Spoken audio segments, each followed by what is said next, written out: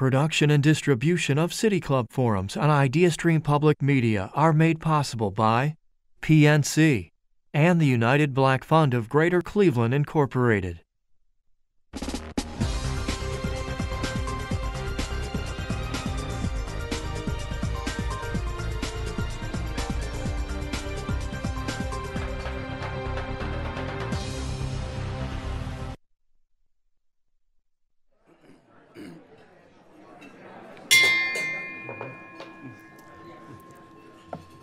Good afternoon, and welcome to the City Club of Cleveland, where we're devoted to conversations of consequence that help uh, democracy thrive. It's Friday, March 4th, and I'm Eric Fiala, Head of Corporate Responsibility at KeyBank and City Club Board Member. I'm happy to welcome all of you here today for the Cyrus Eaton Memorial Forum featuring Chris Kuhar, Executive Director of the Cleveland Metroparks Zoo. The recent birth of a baby gorilla at the Cleveland Metroparks Zoo the first in their 139 year history, has focused the community's attention on the western lowland gorilla, a critically endangered species. The zoo has also used this as an opportunity to raise awareness on the conservation work they do around the globe, and specifically with gorilla populations in Africa. The future of zoos in America is growing around wildlife conservation and they are doubling down on goals that provide visitors the opportunity to encounter the natural world. With a complicated historical legacy and a commitment to ecological stewardship, zoo leaders have their work cut out for them in the 21st century. At the Cleveland Metroparks Zoo, leaders are learning how to do this through their work with primates. Executive Director of the Cleveland Metroparks Zoo since 2012, Chris Kuhar has developed uh, and devoted a great deal of his career to work with primates. Chris previously served four years at the zoo's curator, uh, as the zoo's curator of primates and small mammals, and as a research manager at Walt Disney World's Animal Kingdom Park in Florida. Kuhar has also served as chair of the board for the Association of Zoos and Aquariums.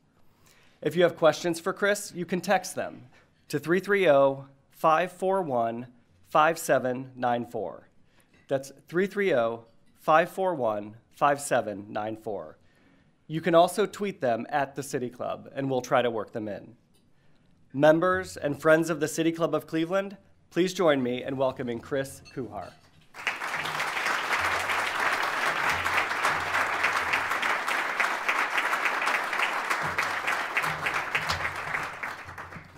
Thank you very much. So I'm going to start with a confession. When you talk to people who work in zoos and aquariums, when you talk to my colleagues, uh, I feel like they all knew that they were going to work in zoos from a very early age, right? They, they all seem to have some sort of cool superhero origin story. I don't have one of those. And I'm not sure why. It used to bother me. I used to try and figure out, well, why, why didn't I know that, right? And until I came across a quote by Rick Ridgeway. Uh, Rick is a a mountaineer, an adventurer. He's the uh, VP of Environmental Affairs at Patagonia, which is a company I greatly admire. And the quote is The best journeys in life are those that answer questions you never thought to ask. I like that quote partly because it relieves me of a little bit of responsibility for not having a better career path, uh, partly because I think it truly defines what my career path is, partly because I think it helps define what the evolution of zoos has been. I didn't really know much about zoos until I was an undergraduate biology student at the University of Akron. I never really thought about zoos. I kind of stumbled into it, to be honest. Uh, my first paid zoo job was actually at Cleveland Metroparks Zoo in the, in the mid 1990s doing behavioral data collection. And I had the opportunity to participate in a multi zoo research study um, that was focused on gorilla behavior, and it was led by two graduate students at Georgia Tech, Kristen Lukas and Tara Stoinski. Now, before I get into what that project really was, um, I think it's probably time to, to, just talk a little bit about what breeding systems, because when you go to a zoo and you look at the exhibit or you see a press release about animals, often people don't think about what that what goes into that. And um, there's it's not as simple as when a mommy gorilla loves a daddy gorilla, you end up with baby gorillas, right? Most reproduction that occurs in the animal kingdom is not out of a monogamous pair. It's everything from animals not even having contact together to coming together just to breeding. when you're talking about primates, the, the breeding systems can get really complicated. And as a result, you tend to have social groups that aren't necessarily breeding in nature. Gorillas are one of those species. Gorillas form all male groups, and depending on the subspecies of the gorilla and the particular habitat type, those, those groups can be transient, where males come in and out for a short period of time, or they can stay together longer. Often these are males who get kicked out of their family group by dad because they're big enough to be reproductively viable and dad doesn't want them around anymore, but they're not big enough and strong enough to maintain their, their own social group. So those boys then hang around with each other. They play, they fight, they eat, they sleep, repeat until they find a girl. sort of like college, I guess. But these bachelor gorilla groups work really well in the wild, in contiguous habitats where animals can move in and out, move in and out of groups. In zoos, we recognize that that's a natural history. That's what these animals do, but it's a little bit harder. This original project that we were working on was an attempt to, to document what was happening in these fledgling bachelor gorilla groups that were being formed in the 1990s. What were the components to them? And the idea then was to take the information that we learned and apply that, give that information back to the Gorilla Species Survival Program. We refer to them as SSPs. This is a subcommittee within the Association of Zoos and Aquariums. It operates at the species level, and this group helps make decisions about what animals breed, which animals move to different zoos, and what the situations and husbandry recommendations are for that species. Now, Cleveland had an all-male group. So Kristen Lukas actually came up to Cleveland to train us on how to collect data on, on this project, and it was the first time I met Kristen. And I learned a lot from Kristen. I learned more from the gorillas. And one gorilla in particular, there was this eight-year-old male named Makolo. Makolo was the youngest male in this bachelor group, and he was what can only be described as punky. Uh, to give you a little bit of frame of reference, if you know a young male, say 13 to 16 years of age, who has the uncanny ability of pushing buttons and getting everybody riled up, and then somehow extracting himself from the situation so he's not part of the drama and he doesn't get the impact of that. I see some nodding heads. Perhaps you have one of those in your household. Um, that's Makolo, okay? So I learned a couple of things from this process. The, the first is that is really smart. I wish I had half of his political savvy. The second is that gorilla behavior is complex and it's subtle. Unlike chimpanzee behavior, which is where I started my career, gorillas are much more calm. And let's be honest, when you look at a gorilla, they look bored. They look like they'd be rather be anywhere else than where they're at. But the reality is, is that they're, they're detecting very subtle behavior cues, posture, positioning, facial expressions. And what they're doing all the time is monitoring where everyone else is. It's like a chess match in a zoo exhibit every day where these males are moving around and trying to get the drop on it's it's basically an episode of Game of Thrones every day with less bloodshed and less nudity. so what I realized was this is really interesting, right? How did I not know about this? But I knew that I wanted to, to uh, have a career in this. But it was really unclear why, why didn't we all know how interesting this was? Because if you went to zoos in the 70s and 80s, this wasn't apparent, right? Well, when you look at the history of zoos, in, in the 1980s, the late E.O. Wilson and Stephen Kellert came out with a concept called biophilia. And this is the idea that humans have this want or need to be connected to animals, to the environment. They have this inherent draw to nature. And honestly, that's what zoos were in the post industrial age.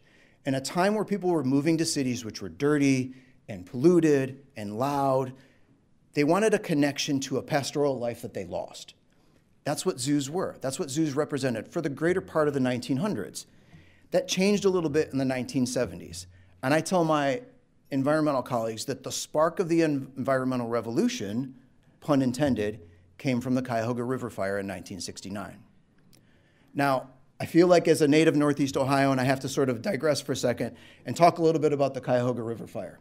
Because it wasn't the Cuyahoga River fire, it was the 12th Cuyahoga River fire. Okay?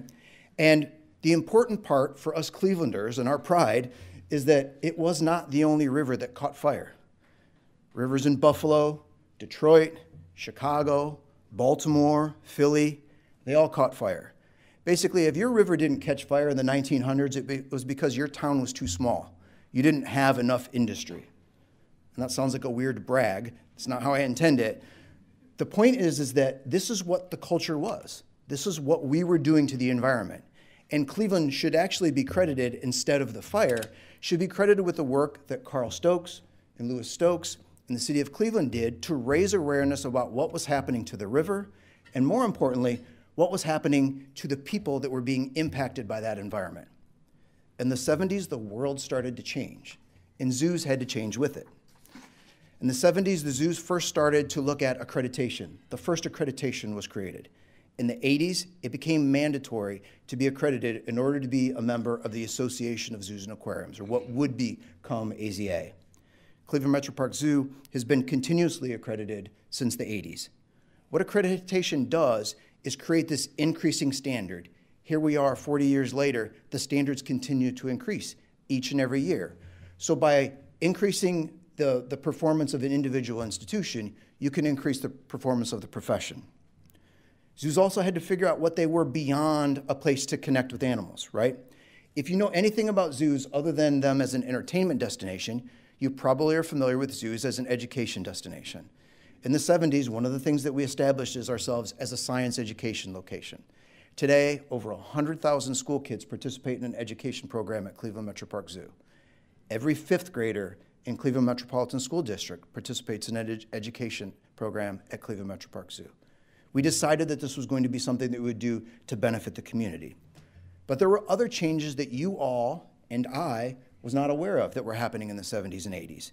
Because it was no longer ethical and perhaps not even legal anymore to go grab an animal from the wild and put it in your zoo, you had to think differently about your business model. You had to figure out how you're going to keep those animals alive longer and how you're going to reproduce them and how are you going to emphasize care and welfare. So suddenly, science and conservation became more important. I eventually enrolled in that graduate program that Tara and Kristen came out of, that graduate program at Georgia Tech. Uh, Kristen at the time got her PhD. She moved on to be a primate curator at the Lincoln Park Zoo. Tara was still there. She kind of became my big sister uh, research advisor and was working with the Dian Fossey Gorilla Fund. By the time I got there, the Zoo Atlanta Georgia Tech program was the premier place where scientists were being trained to go out into the world.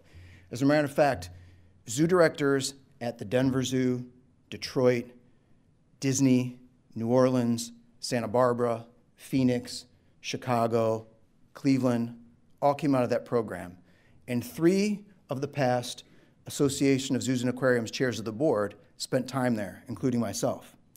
But when I got there, I was training grad students. And I actually came back to Cleveland to train the next generation of students on how to collect data on these evolving projects. Makolo was still there, and he was still punky. But he wasn't eight anymore. He was bigger. He was basically a full grown 300 pound adult male gorilla. So punky's probably, probably not the right word. It's probably more like a bully. Okay? But that's not his fault. That's what happens to young adult male gorillas. They grow into themselves, they display, they posture, that's part of the natural history. So Makolo was evolving, but so is our profession. We started looking at subdisciplines because we started as basically an ethological exercise, right? The project that I started with Kristen and Tara was similar to the things you see with Jane Goodall or Dian Fossey sitting in the forest and writing down what they see, right? It's documenting it and it's creating a narrative. That's not the typical experimental research that you think of when you think of science, but it has an important role. It's what we were basing the decisions we were making about animals, and we were comparing the behavior patterns of our animals to those animals in the wild. But like any good science program, what we determined was that we had more questions than we had answers. Every time we answered a question, we had three more questions pop up. So we started to look at utilizing other subdisciplines of biology. Personality. Could you predict an animal's behavior based on their personality type? What are the environmental effects of light, noise, physical barriers. We started to bring in endocrinology and look at what was going on inside the animal. We looked at epidemiology, so not just the health of that particular animal in front of you, but the health of the entire population. We identified heart disease. Fibrosing cardiomyopathy is a common cause of death in gorillas. It's similar to, but not exactly the same thing as the heart disease we see in humans. So we started looking more deeply at diet and nutrition and exercise. And what happened now is all of that research is feeding into the Gorilla SSP to allow the SSP to make science based decisions on how to manage those animals. But maybe more importantly, we really started to blur the lines within the zoo as to what was research, what was husbandry, and what was veterinary care. The animal care teams are now training animals like a full grown silverback gorilla in Makolo to voluntarily put their arm out and get a blood draw, training animals to voluntarily allow a cardiac ultrasound to occur, to voluntarily provide a saliva sample, as well as a bunch of other samples that I won't mention because you guys are all eating lunch. We've blurred the line and we've created a much better integration of science and animal care. But from the exterior, you might not have noticed it. We didn't really talk about it. All of that husbandry training had to go on behind the scenes. But in addition to that, we're developing other forms of research. We started looking at the impact that animal behavior had on our guests. We looked at when you, an animal is active and performs normal behavior patterns, it actually increases guest stay times. It increases guest satisfaction, which as a business person, you can identify that that probably has financial implications to the organization. But more importantly, when those animals were performing natural and normal behavior patterns, guests were more receptive to the education messaging and the conservation messaging that we were providing. We started looking at conservation in general. Were we meeting our goals? When I spent my time at Disney's Animal Kingdom, we were evaluating conservation education programs in the wild, and we were using fundamental psychological research techniques on these programs. And what we heard over and over again from all of these programs in the wild was that, yeah, the biological research tools were important, but the connection, what made conservation programs most effective, was people and the connections that were made with people. So that's why conservation programs often do things which would be traditionally considered socioeconomic. Drill a borehole for water access, build a clinic, build a school, provide educational opportunities. There's a connection between the people and the animal. So if people are tied to conservation, what's the role of the modern zoo? Well, in 2016, Tara Stoinski became the CEO of the Dian Fossey Gorilla Fund. Kristen Lukas is the Director of Conservation and Science at Cleveland Metroparks Zoo. She's a board member for the Fossey Fund, as well as the chair of the Gorilla Species Survival Plan. Me, I'm just the director of the Cleveland Metroparks Zoo. But what happened was we began to grow our programs. We began to grow the connection with the Fossey Fund. We were in Rwanda training the next generation of conservation professionals. Remember, Rwanda is a country that went through a genocide in the 90s. Basically, a generation of scientific knowledge was wiped away what we were doing was training that next generation of scientists. And we weren't doing it in the old colonialism version of conservation. We weren't there making decisions. We were providing support for that next generation so that they could make, make decisions for their country and for their community. In one of those trips out there to do those trainings, I had the opportunity to carry gear over for the trackers for the Dian Fossey Gorilla Fund. The trackers are the folks that go out and monitor those gorilla populations 365 days a year. And we were there handing out rain gear and cold weather gear. And it was like sort of like a, a wedding receiving line where we were handing out gear and shaking hands, and we were thanking the trackers as they came through. And one elderly tracker came up and he shook my hand, and as I turned to pivot to shake hands with the next person in line, he didn't let go. And he put his second hand on me. And I know when you're getting the double hand handshake, it's time to pay attention, right? So I turned to the gentleman and I looked at him, and he stared me in the eye for a second.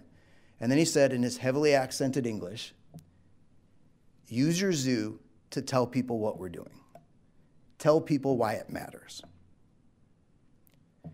Now, I'm not sure how long the next person in line had to wait for me to sort of come back to reality after that interaction. The gentleman I would later find out, his name was Jonas. He had been a tracker with the Fossey Fund for nearly 40 years. He was speaking to me in English which was probably his fifth language. He didn't have more than a secondary education. As a matter of fact, he didn't complete secondary school.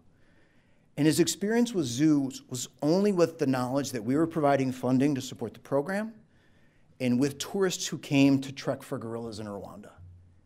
And he identified that zoos could be a powerful player in conservation. So now, in addition to blurring the lines around husbandry, we're starting to blur the lines between the guest experience education, and conservation. In 2016, we rebranded the zoo. New logo, new mindset, new tagline, securing a future for wildlife. Because we didn't think enough people understood that we were doing conservation work on a global scale. Now, we didn't sacrifice the entertainment piece, and I want to emphasize that. We still created Asian Lantern Festival and Wild Winter Lights. We installed a zip line. The point here is that you don't have to choose education or entertainment. You don't have to choose mission or vision. Zoos provide a unique opportunity to blend the two things. And it's important because these issues aren't going away. This isn't a forced narrative. In 2019, a UN report was released that over a million species are threatened with extinction worldwide. Now, it's easy to find that number overwhelming or to say, you know, I don't care what the left handed three striped wombat does. Just for the record, that's not a real species, I made that up. but it's easy to take the name of a species you've never heard of and dismiss it as not being important. Okay? But every species we lose on this planet is a food source for another animal or preys upon another animal to keep that population in check. Every plant species we lose keeps soil stable, prevents erosion, provides oxygen or transpiration, or feeds an animal species. Every time we lose a species, this interwoven web of life that's on our planet breaks a little bit. Every time we lose a species, we get closer to a zoonotic disease. Now, many of you got a crash course in zoonotic diseases with COVID 19. We've been monitoring coronaviruses for years Middle East respiratory system, SARS. We've been monitoring diseases like highly pathogenic avian influenza, you know it as bird flu, right? We've been paying attention to them because they're tied closely to conservation. There's a new strain of bird flu in the eastern United States right now. And while it's not transmissible to humans in the same way that COVID is, it can wipe out entire poultry flocks. Okay? That's here, and it's real. Birds that pollinate and, and provide seed dispersion for our forests. Bees that fertilize our crops are collapsing, hive collapse. It's easy to, to not think about water security when you live next to the Great Lakes, but the reality is the majority of the world lives with water insecurity issues, without access to fresh water long term. There's flooding, there's fires. These environmental issues don't care who you voted for in the last election. And it doesn't matter whether you think that these issues are human caused or not. They're real. We have to act on them. We have to make decisions. We have to have conversations about them. Maybe Jonas was right. Maybe you can use a zoo to do that. But how? Let's go back to Makolo for a second. In 2017, Bebac, the last member of Makolo's bachelor group, passed away, leaving Makolo alone. So we had a decision to make, and with the recommendation of the gorilla SSP, we decided to put Makolo into breeding situation. Now, mind you, Makolo hadn't seen a female since he left his mom at about the age of six. So we didn't know what Makolo would do. When we brought the girls in, we watched closely, and that bully of a gorilla ran scared from those females when they arrived. But he'd eventually find himself, he'd grow confident, and he turned into the silverback that he needed to be settle disputes, keep the groom calm, but not be too aggressive. Okay, step one. Well, what happens when we remove the contraception from one of the females? Will Makolo know what to do? A month after removing the contraception, we got a positive pregnancy test. He could get the job done. So now, here's the scary part. What happens when there's a baby in the group? Would Makolo be overtly aggressive? What happens to the females? Would they take care of him? So the team began an extensive training where they would use a stuffed animal to bring the stuffed animal to the mesh, where all the group members were trained to pick up the stuffed animal and bring it to the mesh, in hopes that if we needed a surrogate, one of those females would respond and be able to bring the, the baby forward so the animal care team could feed it. We estimated a birth window of middle of December to the middle of January. And because the gorillas did not read the birth pan, the baby was born at the end of October. And our worst, our worst case scenario, like the, like the fire alarm going off. Keep going? Keep going for a. All right. we're just going to pretend that didn't happen. So um, I just completely lost my train of thought. Okay, so um, what we realized was that the mom didn't take care of the baby gorilla. So we had to reintroduce this baby gorilla to one of the other group members. So the first step is what's Makolo going to do? When Makolo comes into that space, he walked in, he sniffed the baby, he touched it, and then he stepped aside as though to say, All right, ladies, let's get this done. Frederica, a 46 year old female, walked in and almost immediately scooped up that baby gorilla and has been carrying him ever since. She brings him to the mesh every two hours so that that baby can get fed through a rigged piece of tubing connected to a syringe to a, to a nipple so that baby can nurse through a barrier because my staff is staying safely on the side of, of the barrier. And Makolo allows that to happen. Sure, he gets some extra treats along the way, but he's been the right silverback. When the baby had to go out of the group to be treated for pneumonia, Makolo responded like a true father. He began contact calling. His heart rate was elevated. Yes, we check his heart rate every day. He was agitated until 10 days later when we were able to bring the baby back. His heart rate came down and he relaxed. The baby was back. It still blows my mind when I think of that punky male when he's playing with the feet of the baby gorilla as it's being, it's being fed. It's hard to believe it's the same male.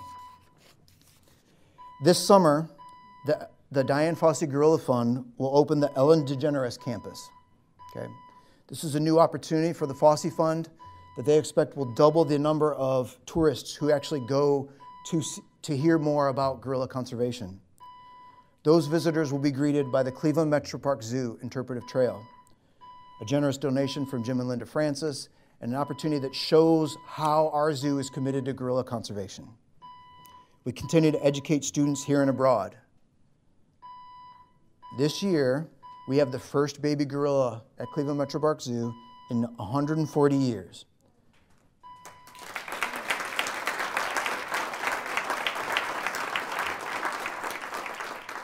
That baby has generated 1 million video views in four months.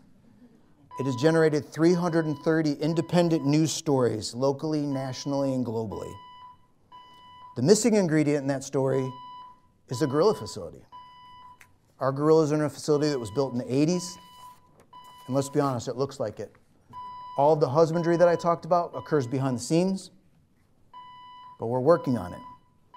We're in the process of reimagining a facility where gorillas have great space year round, where we can incorporate all of the research that we've developed for the past 20 years, incorporate concepts like visual barriers, edges, access to ultraviolet light. We can bring the husbandry to the front of the house, where we can show all guests blood training, cardiac ultrasound training. It doesn't have to be behind the scenes. We're in the process of designing the best gorilla facility in the world. And that means it's a facility that not only focuses on the animals, but on guest experience, education, conservation, and economic impact to the city of Cleveland. You're going to have to stay tuned to hear more about that one. People ask me all the time about the future of zoos and whether our zoos are still relevant today. They are still relevant, I promise you, but we don't know why this fire alarm's going off and it's unsafe to keep everybody here right now. So, um, Chris, we're going to welcome you back another time. um, and with apologies to our listeners on WCPN, um, we're just going to shut this down right now because the fire alarm, there's just too many questions and not enough answers. We'll welcome you back all when Chris comes back to finish this and do the Q&A. It'll be amazing. Um, but could everybody give him a round of applause on your way out? I'm so sorry. I'm so sorry. And thanks again, all of you. Thanks to LMM for their, uh, for their work today. Thanks to everybody for your support. I apologize. This is one of those things. Thank you. This is the City Club. Oh, our forum's adjourned. For information on upcoming speakers or for podcasts of the City Club, go to cityclub.org.